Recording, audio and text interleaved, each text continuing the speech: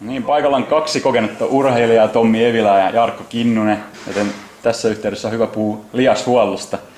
Eli tämä on varmasti teille molemmille tuttu keskustelun aihe. Tommi, sä oot jo päässyt yli 30 ikävuoden ja lainaa aika raju pituushyppy. Niin, tota, niin kuinka suuressa lihashuolto on sulle tämmöisessä niin kuin, arkisessa treeniohjelmassa? No kyllä se on siihen niin kuin mennyt, että, että ehkä mun tulee enemmän vietettyä aikaa plintillä kuin reenikentällä. Että, että se täytyy ottaa huomioon. Kokemus on hyvä asia, mutta sitten kun me aika haasteellisissa oloissa vedetään täällä Pohjolan kylmässä ilmastossa ja muuta, niin jännealueet on tosi kovilla. Pikkuhiljaa alkaa vähän ehkä palautuminen hidastua, mutta tiettyjä ominaisuuksia seuraamalla niin pystytään kartalla, että mitä kannat, mihin kannattaa panostaa ja muuta vastaavaa näin. Niin ei se, se, se näyttelee koko ajan isompaa roolia. Että, että toki oma huolellisuus, ravinto, alkuvedettely, loppuvedettely, näin. Mutta kyllä vaan siellä plintillä alkaa viettää enemmän aikaa koko aika. Se tarvitsee tehdä niin. Hmm. No mites Jarkko, pitkän matkan kävelijä, lihakset varmasti kovilla ja nivelet samaten, niin mites toi lihashuoltopuoli sulla menee? No kyllä se menee samassa suhteessa kuin reenimäärän nostaminen. Mitä enemmän treenaat, niin sit samassa suhteessa pitää nostaa myös sitä huollon, huollon osaa. Eli, eli huolto koostuu, koostuu just niin, kun Tommi sanoi, verryttelyistä, ei kylmää lihasta ei kannata ruveta rassamaan. Varsinkin kun ikää tulee, niin saattaa sanoa paikat helpommin naksia. Ja tota, sitten kun on tehnyt reenin, niin pientä cooldownia siihen, venyttelyä, lyhyet venyttelyt ja sitten siihen hyvä hieronta päälle ja sitten vielä illalla ehkä pidemmät venyttelyt kuin kylmään lihakseen, niin tämmöistä kuviota. Joo, te osittain jo vastasitte tähän seuraavaan kysymykseen, jos, mutta jos mietitään tavallista ihmistä, niin mitkä olisi ne semmoiset lihashuollon kolme tärkeintä asiaa? Aloitetaan Tommista. No kyllä se tietysti, että, että jos niinku istumatyötä tehdään, niin säännölliset tautet ollaan niinku jalkojen päällä. Istutaan, niin istumalihakset on ihan oikeasti kovilla, se alkaa äkkiä silleen, että verenkierto takareisiin alkaa tyrehtyä. Välilevyt selässä, mitä enemmän tulee ikää, niille ei ole oma aineenvaihdunta, ne riippuu niin ulkoisesta niinku paineenvaihtelusta ja liikkeestä ja näin, niin se, että oijotaan oikeasti välillä sitä ruotoa, ja kyllä se semmoinen venyttelykin siinä kesken päivän hartioille ja muuta, se ei ole mitään boostiikkiä, että sanotaan, että ihmiset kantaa niinku taakkaa harteilla. Että, että jos saadaan hartiat laskeutua, niin verenkierto aivoihin paranee ja muuta vastaavaa. Tässä niinku kaksi tämmöistä niinku kovempaa. Sitten mennään ravinnon puolelle. Kannattaa tsekata elintapoja ylipäätään, kovia rasvoja pikkusen sivummalle. Jos kessuttelee muuta, niin mielellään vähän vähemmän ja tämmöistä alkoholi vaikuttaa näin. Että, että kaikki vaikuttaa kaikki. Entä Jarkko? Tuossa tuli hyviä pointteja. Se.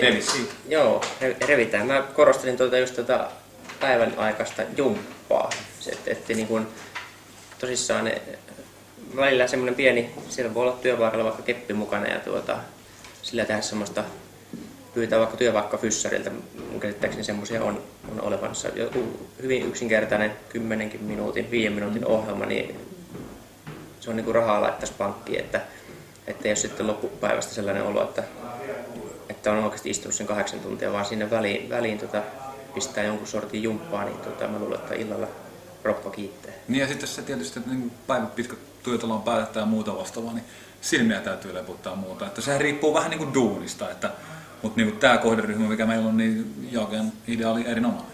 Hmm. Tommi, susta liikkuu sellaista legendaa, että sä oot hankkinut itsellesi joskus lehtiroskiksen, jonka sä oot treenin jälkeen täyttänyt kylmällä vedellä ja laittanut sinne jäitä ja dipannut itse sinne niin kuin kylmähoitona. Pitääkö tämä paikkansa? No siitä on varmaan ihan itse asiassa dataa olemassa, mutta siis tää, tätä tapahtuu aina satunnaisesti silloin, kun kylmäallasta ei, ei ole saatavilla ja muuta. Että, että niin paljon jäätä kun vaan löytyy, missä sitten ikinä ollaan, niin tosiaan roskikseen vaan muovipussia sinne jäitä ja kylmää vettä. Että, Kyllä se siis, mutta se kaikki perustuu ihan puhtaasti siihen, että, että niin mun kylmä hoito, niin se katkaisee tulehdusreaktio. Ja sitä mm. tarvitaan tässä. Mun laji on niin iskuttava, niin mulla tulee mikrovaurioita jatku, jatkuvasti, tulee lihaksiin, tulee jännealueelle, niin se pitää saada se reaktio heti katkaistua ja se tapahtuu tämän kylmähoidon kautta. Että, että kyllä se vaan niin kuin, konstit on monet, mutta niin kuin, tämä on yksi niistä. Mm. Kinesioteippauksesta on tullut tämmöinen trendikäs ilmiö, varsinkin huippuurheilijoille, ja nyt se on pikkuhiljaa normaaleille liikkujillekin tota, niin, alkanut tulee muotiin. Niin, tota, mitä te olette mieltä siitä? Oletteko te itse kokeillut? Jarkko, aloita sä. Joo, on, on kokemuksia ja tota, olkoon se sitten vaikka henkisellä puolella sitten, että se teippi on, on siinä, niin se, se kyllä se, mulla on ollut ihan positiivisia kokemuksia tuosta teippauksesta. Ei se semmoinen niin kuin aina totuus ja helpotuskeino ole. että sillä- Autuaaksi niin, joo.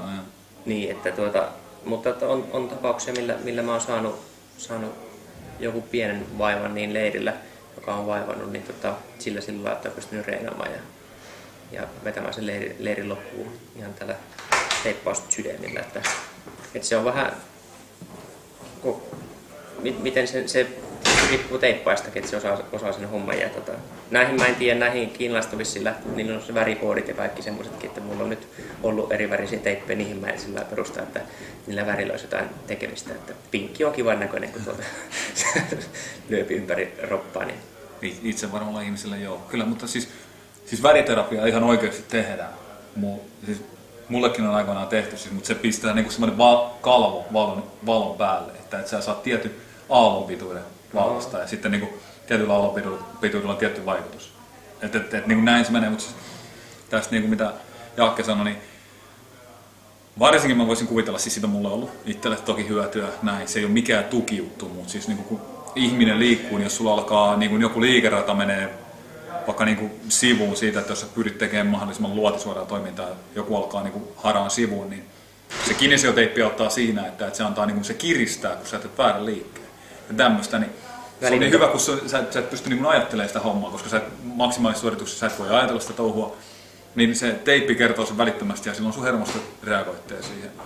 Käyttötarkoituksia on monia kyllä, mutta niin kuin, välitöntä palautetta antaa keholle sitä. Ja sitten tavallaan- Nimenomaan sitten se, että, että niin kuin, se tekee työn jopa silloin, kun sä et tee mitään. Esimerkiksi mun selkä on hoidettu sillä, että jos niin selkäfileet menee kramppiin, niin kinesio kehii, toki muutakin hoitoa, mutta se antaa niin kuin viestin siinä, että, että kun se laitetaan oikealla tavalla, että, että lihaksille että, rentoutuu.